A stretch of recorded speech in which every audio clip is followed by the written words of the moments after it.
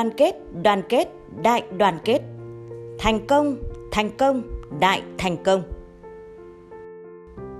Thấm nhuần lời dạy của Chủ tịch Hồ Chí Minh trong mọi giai đoạn cách mạng, Đảng bộ, chính quyền và nhân dân các dân tộc Lào Cai luôn phát huy truyền thống đoàn kết, thống nhất, tạo sức mạnh nội sinh to lớn, vững tin vượt qua mọi khó khăn thách thức, giành được những thành tựu to lớn, góp phần quan trọng vào công cuộc xây dựng và bảo vệ Tổ quốc.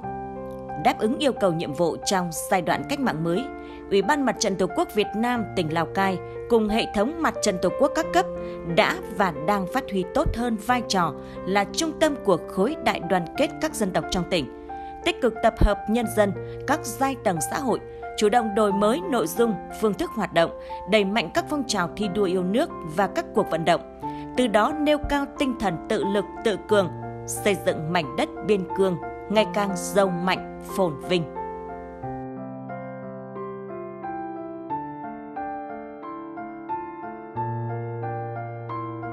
Ở nơi địa đầu biên giới Lào Cai, song hành cùng Đảng bộ chính quyền và nhân dân các dân tộc,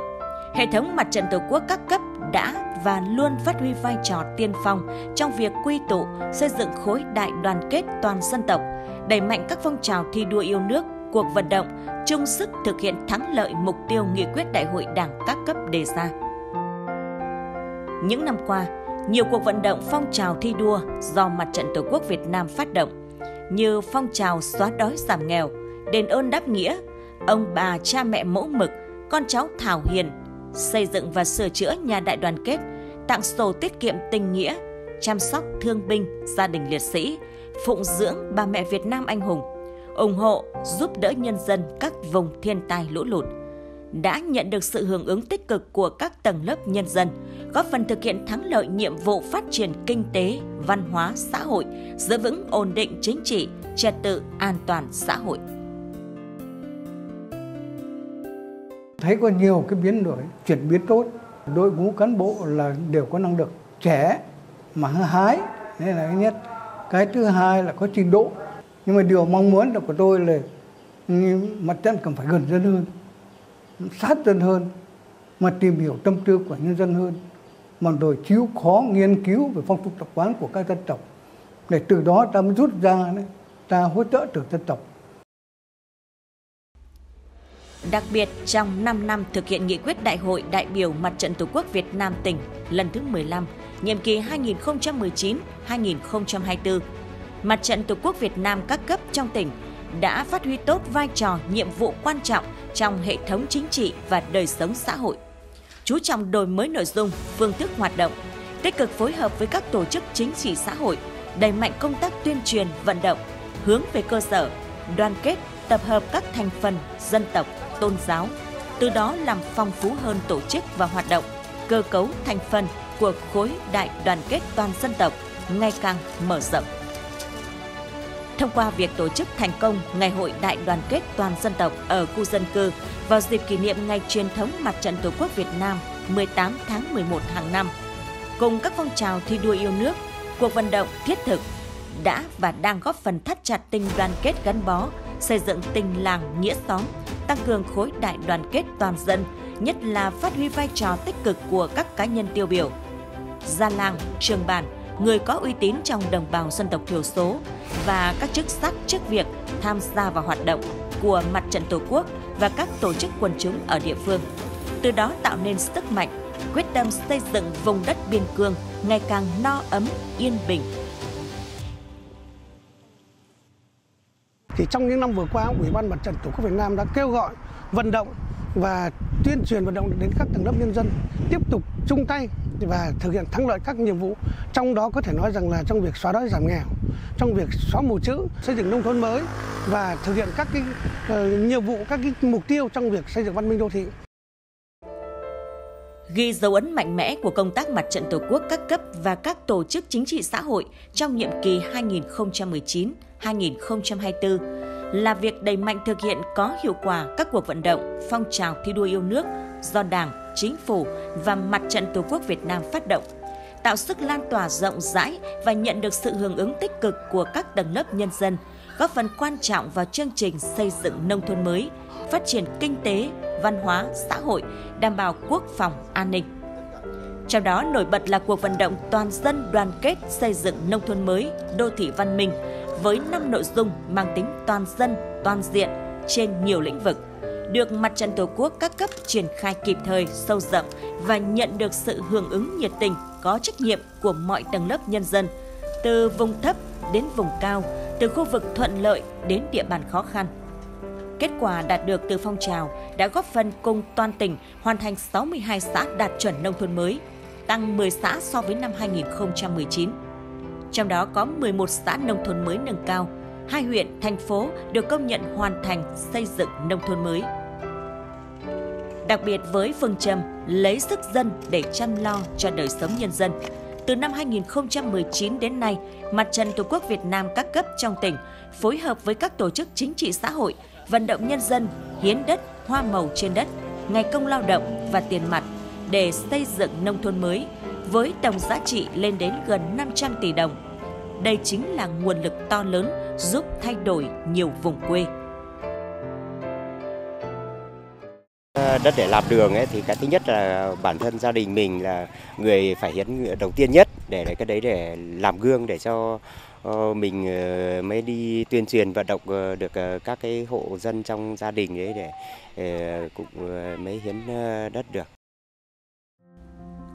Là tỉnh vùng cao biên giới, đời sống một bộ phận nhân dân còn nhiều khó khăn. Vậy nên công tác chăm lo cho người nghèo luôn được tỉnh đặc biệt quan tâm. Bên cạnh nguồn lực do nhà nước hỗ trợ, việc chăm lo cho người nghèo được các cấp ủy chính quyền, mặt trận tổ quốc từ tỉnh đến cơ sở và các tổ chức thành viên tích cực triển khai. Trong đó công tác vận động, xây dựng quỹ vì người nghèo và các chương trình an sinh xã hội với nhiều cách làm phong phú thiết thực, góp phần huy động các nguồn lực trong xã hội để chăm lo cho người nghèo. Từ năm 2019 đến hết tháng 12 năm 2023, toàn tỉnh đã huy động được trên 67,5 tỷ đồng ủng hộ quỹ vì người nghèo. Từ nguồn lực này đã hỗ trợ làm mới và sửa chữa trên 1.800 nhà đại đoàn kết, hỗ trợ tư liệu sản xuất, khám chữa bệnh miễn phí cho gần 1.000 lượt người. Trên 3.000 học sinh nghèo được trao học bổng tiếp sức đến trường. Kết quả này đã đóng góp quan trọng vào tỷ lệ giảm nghèo bình quân của tỉnh từ 4 đến 5% mỗi năm, đảm bảo an sinh xã hội ở địa bàn khó khăn trong tỉnh. Không có việc làm ổn định, ông Nông Văn Siêu còn phải nuôi thêm chị gái khuyết tật cùng hai cháu nội trong căn nhà rột nát. Trước hoàn cảnh khó khăn của gia đình, Mặt trận Tổ quốc Việt Nam tỉnh đã hỗ trợ gia đình ông 40 triệu đồng để làm nhà đại đoàn kết. Cộng thêm sự giúp đỡ của anh em làng xóm, gia đình ông Siêu đã có nhà kiên cố để ở. Nhà hỗ trợ thì nó không do tề ở ở đấy thì an tâm hơn.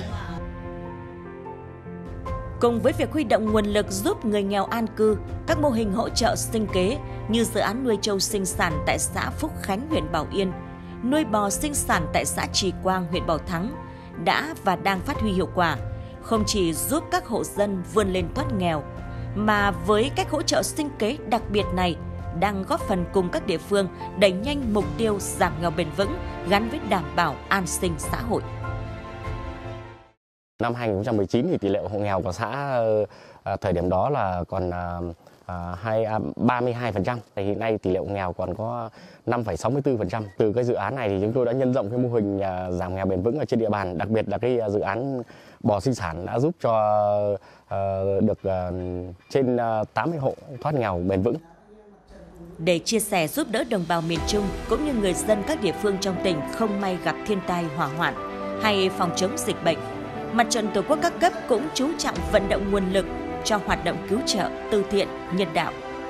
Từ đầu nhiệm kỳ đến nay, Ban vận động cứu trợ Mặt trận Tổ quốc Việt Nam các cấp đã vận động được trên 28 tỷ đồng tiền mặt cùng hàng chục tấn hàng hóa kịp thời hỗ trợ sẽ chia cùng đồng bào trong và ngoài tỉnh khắc phục hậu quả thiên tai, phòng chống dịch bệnh. Đặc biệt từ năm 2020 đến năm 2022, Mặt trận Tổ quốc các cấp đã vận động được trên 22,2 tỷ đồng ủng hộ cho công tác phòng chống dịch Covid-19. Vận động ủng hộ 600 triệu đồng giúp người nghèo tỉnh Điện Biên làm nhà đại đoàn kết chào mừng kỷ niệm 70 năm chiến thắng Điện Biên Phủ ngày 7 tháng 5 năm 1954, ngày 7 tháng 5 năm 2024. Cùng với đó, công tác chăm lo cho người nghèo dịp Tết Nguyên đán, hoạt động đền ơn đáp nghĩa cũng được Mặt trận Tổ quốc các cấp quan tâm thực hiện chú đáo. Với kết quả nổi bật, từ đầu nhiệm kỳ đến nay, cùng với nguồn lực của Đảng, Nhà nước, của tỉnh, Mặt trận Tổ quốc các cấp và các tổ chức chính trị xã hội đã huy động dành gần 200 tỷ đồng cho hoạt động thăm hỏi, tặng quà người nghèo, cận nghèo, lực lượng vũ trang, quân sự, y tế, bệnh nhân nghèo dịp Tết Nguyên đán. Tổ chức thăm hỏi tặng quà gia đình chính sách, người có công dịp 27 tháng 7.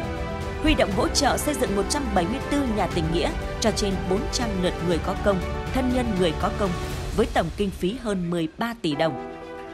Những hoạt động thiết thực ý nghĩa này của Mặt trận Tổ quốc thể hiện sự tri ân, sẻ chia sâu sắc, nhân lên tình đoàn kết, tương thân, tương ái trong cộng đồng dân cư.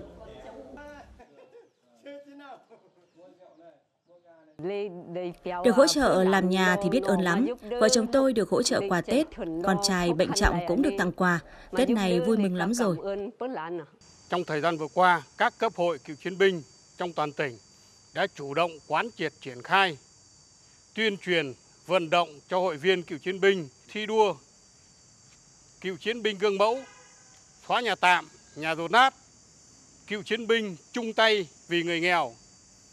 đã góp phần xóa nhà tạm cho 144 hội viên cựu chiến binh, giảm số hộ nghèo trong cựu chiến binh từ 9% xuống còn 3,54%. Tình hình an ninh chính trị, trật tự an toàn xã hội ở các địa phương ngày càng được tốt hơn. Thông qua công tác tuyên truyền vận động, phong trào thi đua đoàn kết sáng tạo, nâng cao năng suất, chất lượng hiệu quả, hội nhập quốc tế cũng được các cơ quan đơn vị doanh nghiệp, tổ chức cá nhân hưởng ứng tích cực. Từ đầu nhiệm kỳ đến nay, toàn tỉnh có trên 1.700 hồ sơ đề nghị công nhận sáng kiến, ý tưởng mới, trong đó có 70 sáng kiến ý tưởng được công nhận. Đặc biệt sau 15 năm triển khai, cuộc vận động người Việt Nam ưu tiên dùng hàng Việt Nam ngày càng đi vào thực chất và có sức lan tỏa mạnh mẽ. Hàng năm, Ủy ban Mặt trận Tổ quốc Việt Nam các cấp chủ động tham mưu với cấp ủy, ban chỉ đạo xây dựng kế hoạch thực hiện, tăng cường thông tin tuyên truyền, nâng cao nhận thức trách nhiệm của các doanh nghiệp, hợp tác xã, tổ chức, cá nhân, nhất là người tiêu dùng. Đồng thời phối hợp tham gia tổ chức các chương trình quảng bá, giới thiệu sản phẩm hàng hóa trong nước và trong tỉnh tại các hội trợ, điểm bán hàng Việt tại nhiều địa phương. Tham gia tích cực vào công tác phòng chống hàng lậu, hàng giả, hàng kém chất lượng, hình thành thói quen mua sắm tiêu dùng hàng Việt Nam của đại bộ phận nhân dân. Đến nay, toàn tỉnh có 205 sản phẩm ô cóp đạt 3 sao trở lên, 100% sản phẩm được đưa lên sàn thương mại điện tử.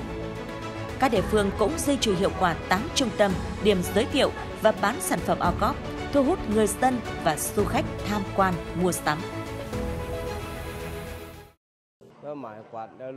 Năm ngoái tôi cũng mua một chiếc quạt điện cơ của Việt Nam này rồi, thấy dùng tốt, quạt mát mà bền. Năm nay dự báo nắng nóng nhiều nên xuống mua thêm một chiếc về dùng. Để phát huy vai trò quyền làm chủ của nhân dân, động viên các tầng lớp nhân dân tham gia xây dựng Đảng, xây dựng chính quyền, Ủy ban Mặt trận Tổ quốc Việt Nam tỉnh tham mưu cho Thường trực tỉnh ủy xây dựng, ban hành và triển khai hiệu quả đề án số 15 về phát huy vai trò giám sát phản biện xã hội và tham gia xây dựng đảng chính quyền của Mặt trận Tổ quốc và các đoàn thể chính trị xã hội tỉnh Lào Cai giai đoạn từ năm 2020 đến năm 2025. Từ đầu nhiệm kỳ đến nay, Mặt trận Tổ quốc các cấp đã chủ trì thực hiện 1.248 cuộc giám sát chuyên đề, chủ trì tổ chức gần 100 hội nghị đối thoại trực tiếp với nhân dân, tham gia hơn 2.000 hội nghị đối thoại trực tiếp giữa người đứng đầu cấp ủy, chính quyền với nhân dân, phối hợp tổ chức gần 3.400 hội nghị tiếp xúc cử tri, tổ chức 217 hội nghị và tham gia ý kiến đối với gần 3.000 dự thảo văn bản. Từ đó đã kịp thời tháo gỡ những vướng mắc trong thực hiện chính sách pháp luật, giải quyết những vấn đề bức xúc trên các lĩnh vực của đời sống xã hội, góp phần bảo đảm quyền và lợi ích hợp pháp chính đáng của nhân dân. Ngoài cái việc thực hiện các cái nội dung chỉ tiêu theo đề án 10 năm, thì các cái nội dung chỉ đạo thực hiện phát sinh cũng tương đối là nhiều và được các cấp ủy cũng rất là quan tâm. Do vậy mà cái nội dung giám sát chúng ta thực hiện được tương đối là cao. Và ờ, thông qua giám sát và phản biện xã hội thì đã giúp cho các cái đối tượng được giám sát đây là thấy được những cái ờ, khó khăn, vướng mắc và những cái bất cập và ờ, kịp thời chấn chỉnh những cái lệch lạc để thực hiện nó hiệu quả hơn.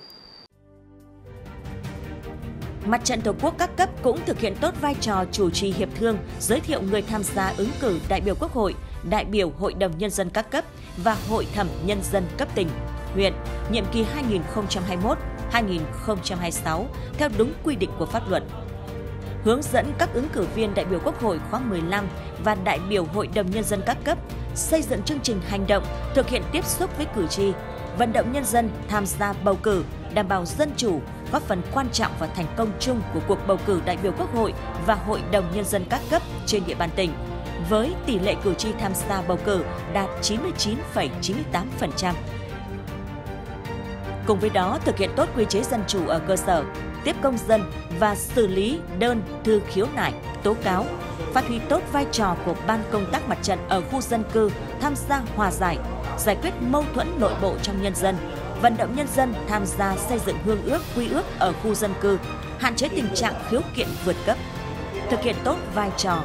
đại diện, bảo vệ quyền và lợi ích hợp pháp chính đáng của đoàn viên, hội viên và nhân dân. Đồng thời tiếp tục kiện toàn, củng cố và nâng cao hiệu quả hoạt động của 152 ban thanh tra nhân dân, 886 ban giám sát đầu tư của cộng đồng và các xã, phường, thị trấn. Tham gia giám sát hơn 1.500 vụ việc, gần 2.000 công trình dự án, kịp thời khắc phục những tồn tại, hạn chế, tránh thất thoát nguồn lực đầu tư của nhà nước, đảm bảo quyền, lợi ích cho nhân dân. Các thành viên của ban giám sát đầu tư cộng đồng à, cũng đã biết phân công phân nhiệm cái nhiệm vụ cụ thể cho từng thành viên ở cơ sở thì đã, đã giám sát à, cái việc ví dụ như là các cái chế độ chính sách cấp phát các cái quà Tết rồi chế độ ưu đãi cho người dân tộc thiểu số thì cũng đã đảm bảo. Với một địa bàn biên giới nhiều dân tộc tôn giáo,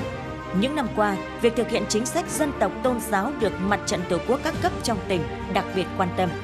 Trong đó chú trọng phát huy vai trò của các chức sắc, chức việc, người có uy tín trong đồng bào dân tộc thiểu số, cộng đồng tôn giáo, tích cực cùng cấp ủy chính quyền đẩy mạnh tuyên truyền, vận động nhân dân chấp hành tốt chủ trương của Đảng, chính sách pháp luật của nhà nước. Để nâng cao hiệu quả công tác đối ngoại nhân dân trong tình hình mới, Mặt trận Tổ quốc Việt Nam tỉnh chỉ đạo triển khai hiệu quả một số nội dung đề án số 11 của tỉnh ủy Lào Cai về mở rộng đối ngoại, chủ động hội nhập và hợp tác quốc tế giai đoạn từ năm 2020 đến năm 2025 phối hợp tuyên truyền các hoạt động ký kết chương trình hợp tác của chính phủ nước ngoài với tỉnh Lào Cai, tăng cường mối quan hệ đoàn kết hữu nghị, đặc biệt giữa tỉnh Lào Cai với hai tỉnh Bò Kẹo và Udomsay, Cộng hòa Dân chủ Nhân dân Lào. Cùng với đó, Ban Thường trực Ủy ban Mặt trận Tổ quốc Việt Nam các huyện, thị xã, thành phố cũng đã ký biên bản ghi nhớ với chính hiệp huyện Hà Khẩu, phối hợp tổ chức các hội nghị giao lưu, làm việc với các huyện Mã Quan, huyện Kim Bình, Châu Hồng Hà, tỉnh Vân Nam Trung Quốc. Đồng thời tổ chức 670 hội nghị tuyên truyền, phổ biến pháp luật cho người dân. Qua đó đã lồng ghép gắn với công tác tuyên truyền biển đảo, phân giới cắm mốc, gắn với thực hiện phong trào toàn dân bảo vệ chủ quyền an ninh biên giới quốc gia. Được tuyên truyền thì tôi cũng hiểu và nắm rõ được các quy định của pháp luật đường biên, mốc giới, bảo ban con cháu không được vượt biên trái phép. Thấy người lạ ra vào thôn thì phải báo với bộ đội biên phòng. Bám sát nhiệm vụ chính trị của địa phương, Mặt trận Tổ quốc các cấp tỉnh Lào Cai thực hiện tốt các chỉ thị nghị quyết, đề án của tỉnh và trung ương để đổi mới, sắp xếp tổ chức bộ máy của hệ thống chính trị tinh gọn, hoạt động hiệu quả, thường xuyên quan tâm củng cố kiện toàn tổ chức, xây dựng và nâng cao chất lượng bộ máy cán bộ mặt trận Tổ quốc các cấp, tập trung kiện toàn Ủy ban Mặt trận Tổ quốc Việt Nam nói chung và bộ máy cán bộ chuyên trách mặt trận nói riêng, đảm bảo cơ cấu hợp lý, hoạt động hiệu quả, ưu tiên hàng đầu là chăm lo cho hoạt động của mặt trận và cán bộ mặt trận ở cấp xã và khu dân cư.